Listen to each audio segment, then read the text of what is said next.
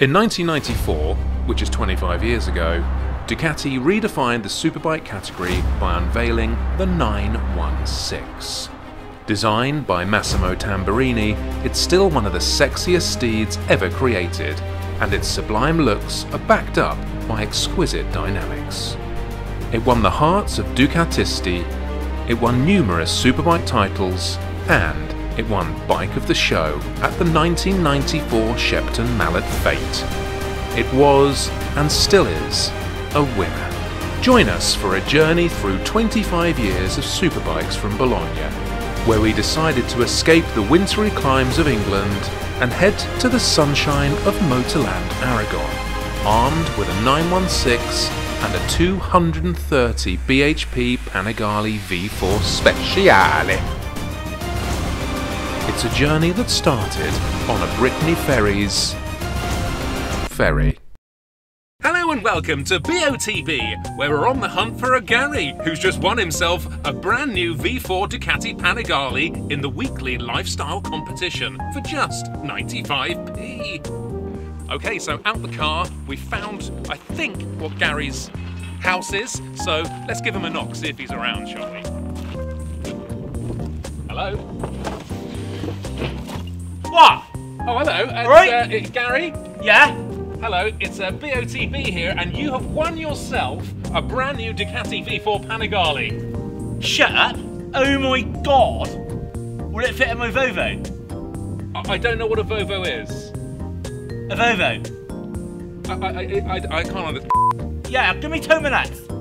Brilliant, brilliant. Okay. Uh, two minutes. Right. Yes, let's uh, let's go and find out what you've. Watch out for the detritus. Let's go and find out what you've won. That's my piss bucket. Is it? Yeah. Wow. So, come and have a look, Gary. Your very own Ducati. Punigale. Shut up. It is a Punigale. Oh my god. What do you think of that gorgeous thing? It's it got a power band on it? It's got every band on it. Rubber bands, power bands. Will it do a ton? It doesn't weigh a ton, no. Will it do a ton though? I don't know. I don't know, probably. Don't break it, Gary. Gary! Don't forget, you can win your very own Ducati V4 Panigale in our BOTB weekly lifestyle competition for just 95p!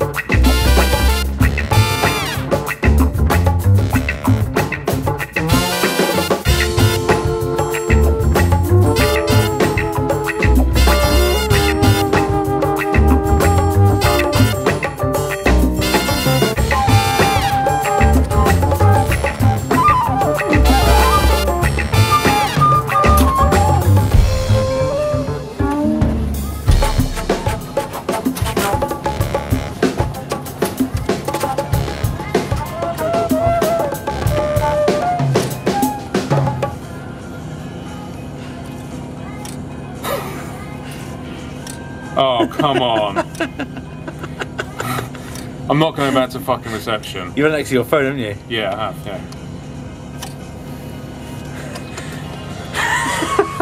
That's ruined it. Fuck's sake. Submit, mate. Hola. Or no, it's bonjour, isn't it? Technically, bonjour. Yeah. Well, we might still be in English waters, so hello. Hello. Just having a little sup on a beer. Mm. We cross in style aboard the Brittany Ferries. Normandy.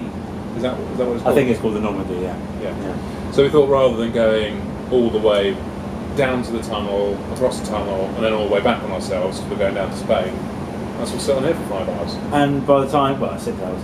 By the time we farted around, it's 120, 130 quid for a van to come along, and it's it's much of a muchness in price, but it's just why why travel in why travel down the M25? Around the um, M23. Three, yeah. Brexit.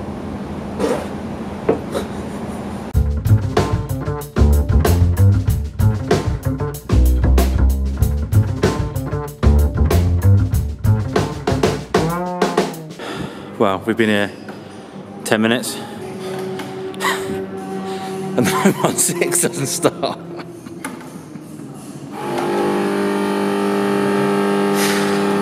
God, what a feature, guys! What a feature. Well, it's real world, isn't it? Uh, there's no, yeah, it's doesn't. Yeah, sorry, I'll be back in a minute. Bye. 916 and a V4 Speciale and a very happy little bunny. I'm not that happy because this is actually my 916 and uh, before we've even done turned a wheel, it's broken. it's not broken. We don't know what's going. It's either the starter motor or two batteries are screwed. No, it's or regulator rectifier, mate. Or a reg rack. So um, while we try and figure that out, we're going to go and do some laps. I've never been here. Last time I was here was about six years ago. So let's go and find our way round. Uh, I did 200 miles an hour on Tom Sykes' superbike. Did you? 202 miles an hour. Did you? Yeah, on, on the back straight. That's when the, the World Superbikes used the whole track, so they used Right. the massive long The long bit. Yeah. Wow. 200 mile an hour club. Well, when that gets going, you know, we'll be pushing up there, won't it? 78. That's my birth year. Oh, uh, this is a, a nice thing. So, my class, because I'm over 40, I'm classed as a crazy old man.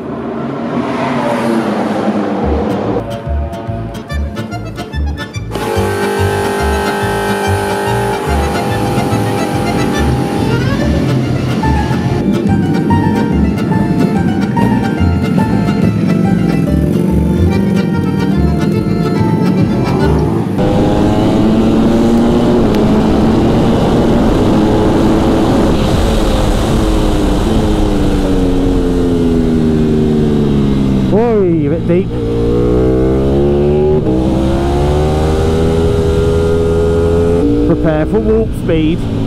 Factor 9.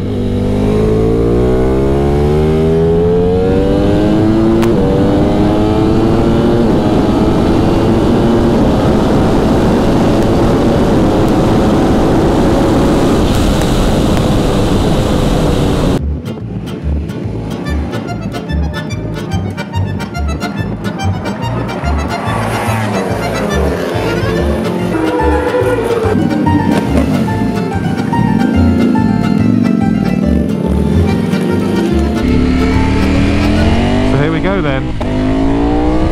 Motorland Aragon, and I tell you, I've never ridden around here before, and it's absolutely terrifying on this bike, which is 210 minimum at the rear wheel horsepower. And uh, yeah, it's quite a special experience. There is, there are so many blind corners. Oh, and things that you just like that you just forget about.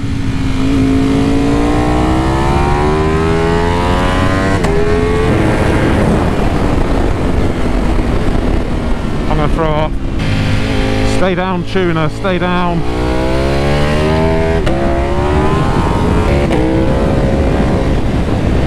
Son, sorry. Oh, it's so scary that bit. Oh. There's a fly inside my helmet. It's brutal.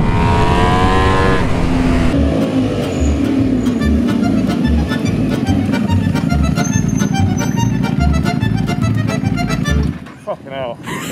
That's scary as fuck, isn't it?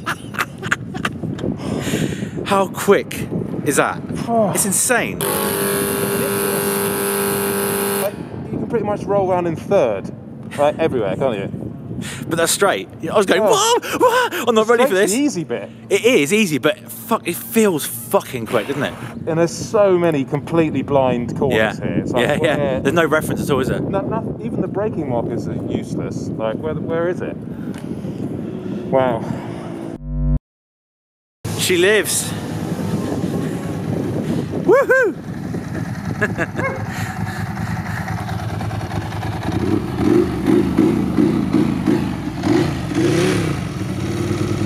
Dodgy solenoid. The starter motor's gone, we think. Um, we just bump started it and she's fine. She's back in the box. Oh, yes. Oh, baby. Oh.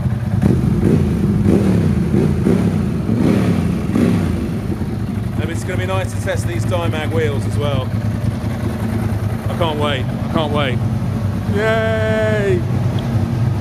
We attended a chrono track day at Motorland Aragon, run by our fine German friends at Rem Race Days. Three days of track action, punctuated by the odd fun race and even a two hour endurance outing. The event itself showed other organisers how track days should be run slick, welcoming, friendly fun, but with the added element of competition, and everyone gazing at the timing screens, hoping for a hot lap. We'll be back here. How's that, buddy? I'll tell you what. I mean, obviously I went out on the uh, Panigale first, Yeah. and um, it is just so far. I, I think you agree. That's one of the fastest bikes I've ever ridden. It's ridiculous. That exhaust, it's got to be 210 horsepower, Yeah. uh, and it's, it feels like it's rampant. It's not just at the top end as well, isn't it? It's just Th- That's the, the, to be honest, it's not the top end that's impressive. It's the torque. Yeah. It's it's in like you can roll around here in third. Yeah. Easily. Yeah. Easily, and and actually you want to be taking third because trying to short shift for some of the long ones Yeah. is really difficult. then uh, jumping on that thing. What? That is the most fun I've had on a track in a What long time. what a riot, honestly. The um, yeah brakes had a bit of a moment on the brakes. The brakes are a bit fadey, but but In terms of the the chassis, it's really good, isn't it? there's nothing that will beat it. Like the, start, the start finish straight, all the that bit there, that first section, until you get to the um, the back straight. Yeah. Nothing will beat that. It was I mean, amazing. I came, I came, I came past. Oh, I came up to you, and there was queues of riders Yeah. until we got to the straight, and then they Yeah. all went past you. oh, giggles, giggles, mate. It was brilliant, and I mean, look, we don't have the standard wheels here to compare, but No. Jesus, like, it feels so good, like mid corner, and, and these are on. We're on S22 road tyres with this bike as well. Don't forget, but it just feels so good, and and it puts a smile on your face. Yeah. it's brilliant. Well, it's day three, and uh, we thought we'd do a little roundup for you. Um, but due to the alcohol consumption of last night, we thought, well, it's definitely best not to ride today. Yeah, I mean the 916 has got a fueling issue. Yeah. And so has the V4 in a way because it just uses way too much. it wouldn't even complete a race. All the races are today, and um, and actually here's here's a good point. I mean, we were yesterday in the race that we were supposed qualified for. We didn't really want to enter because of the risk. That's a thirty-five thousand pound bike, which isn't ours. And then yesterday was a perfect example because someone dropped oil, and about ten bikes went down. Yeah. And they're all V4 Panigale, like V4Rs, and Yeah. just like. And Max Biaggi's teammate, uh, who's still in hospital apparently. oh, really? Yeah. That must have been Bad. a big one then. Yeah, yeah. So, um, yeah, we sort of dodged a bullet there, I think.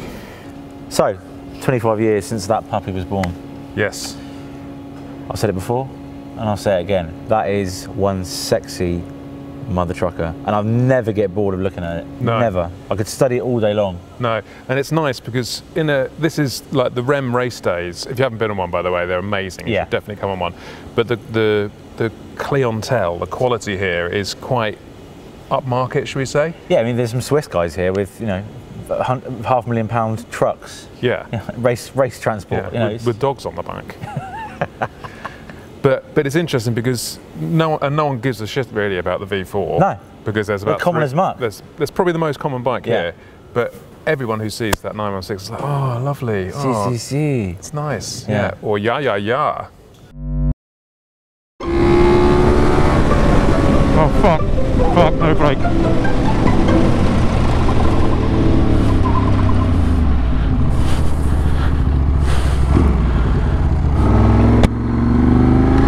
Thanks, love. Right, cold tyres, cold engine, no brakes, no starter motor.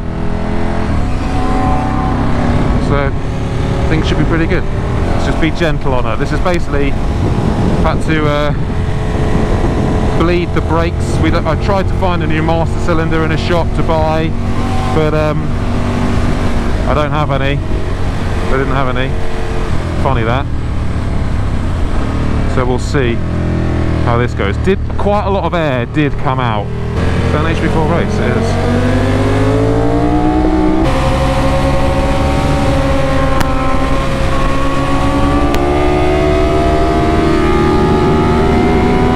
You glove undone, mate.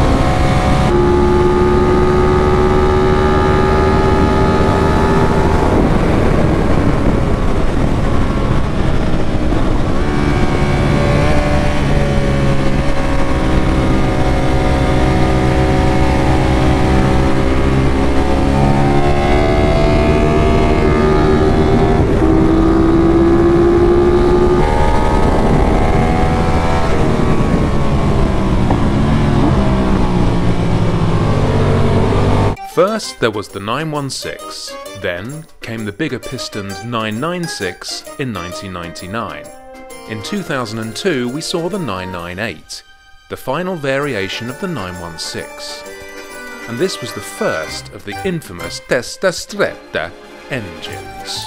And then in 2003, Ducati dropped the 999. Designed by Pierre Terblanche, it divided opinion on the look side of things, despite taking hideous amounts of world and domestic superbike titles.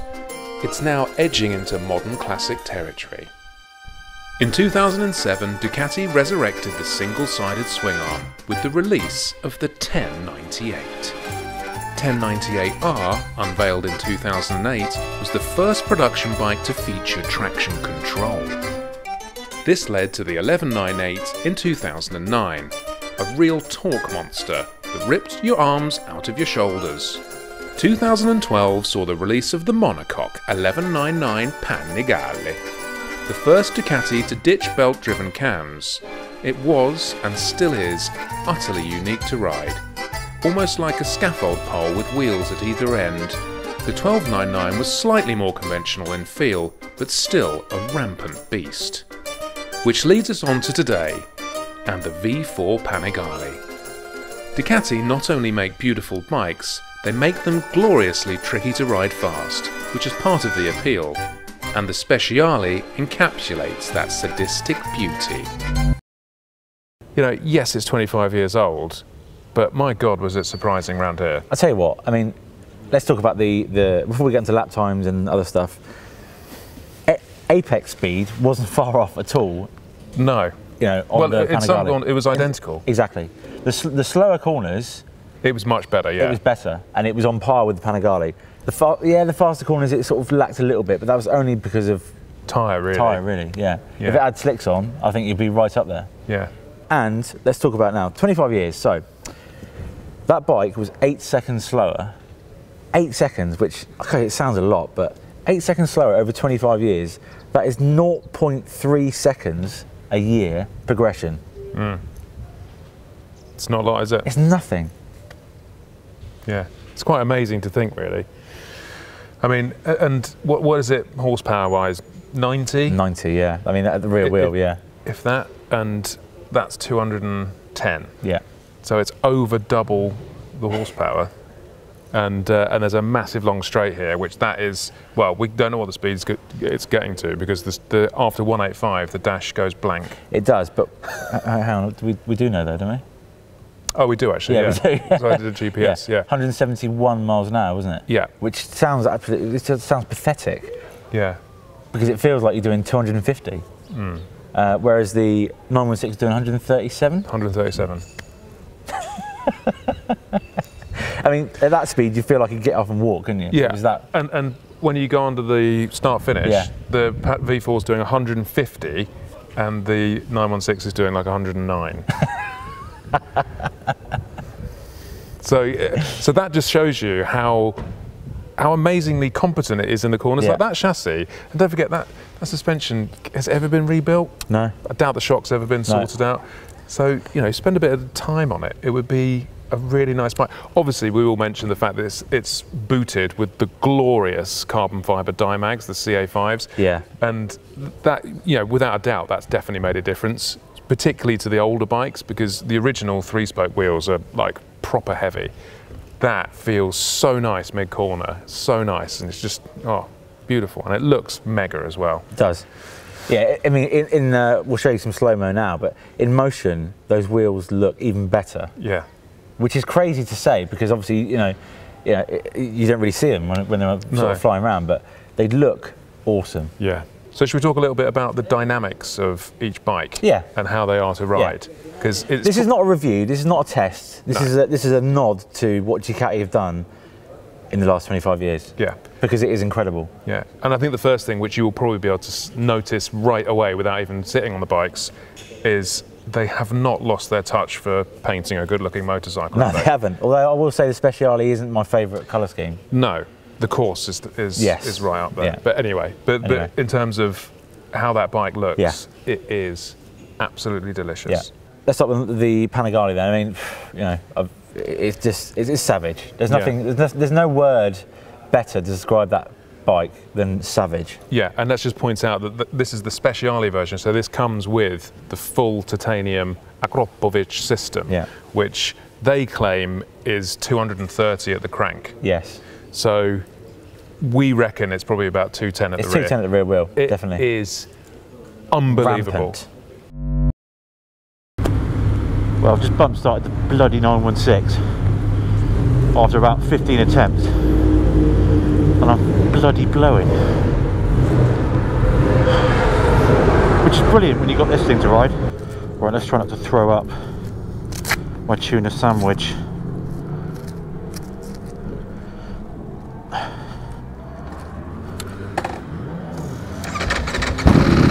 This thing is glaring.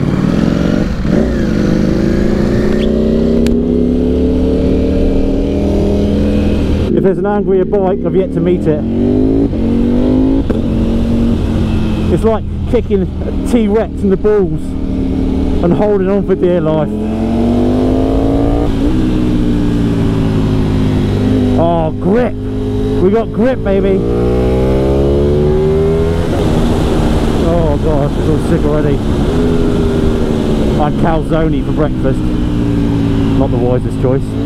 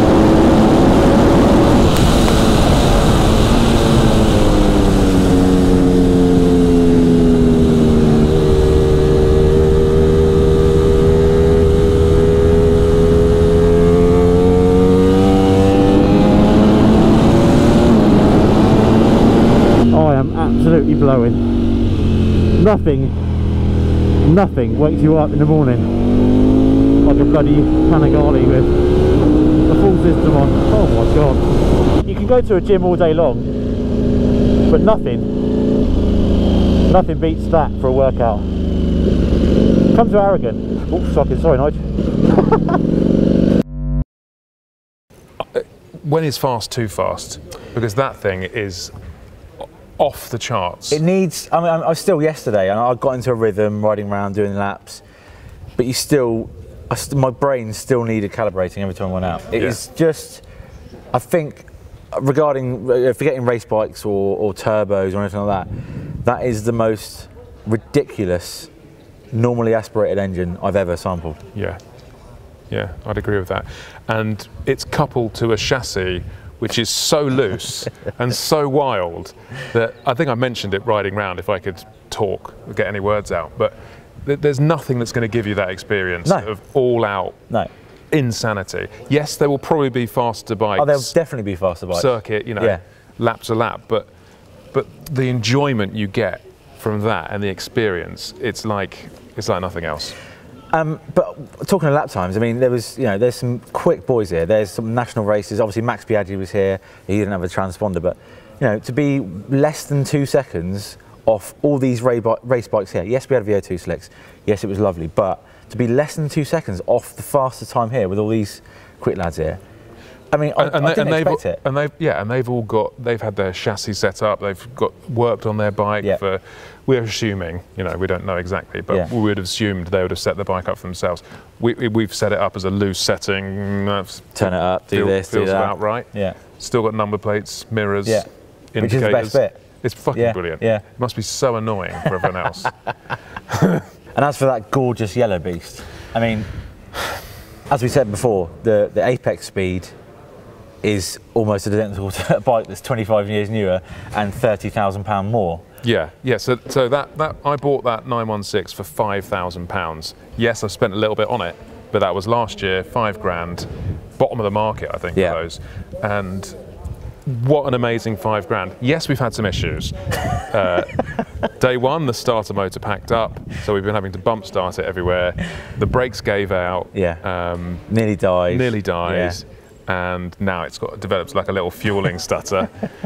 However, forget about all of that. You know, hand on heart, the enjoyment of riding that bike round here, Oh yeah. absolutely maximising every. Um, what? What's that? Dunno. Oh, it's that. That's popped Oh, off. it popped off here. Yeah, I mean, Um, uh, yeah, absolutely maximising track limits. Yeah. Whereas that the, the V4 is so terrifying. You've got to be properly on your game to maximise the track limit. I mean, th- that is sadistically the most ridiculous bike ever built.